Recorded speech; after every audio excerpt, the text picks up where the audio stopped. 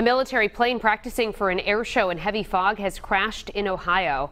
The F-16 Thunderbird crashed and overturned just before 1 at the end of the runway at Dayton International Airport. The Air Force Thunderbirds confirmed crew members were conducting a familiarization flight. Two people were on board the plane at the time. The Thunderbirds said they are both in good condition tonight.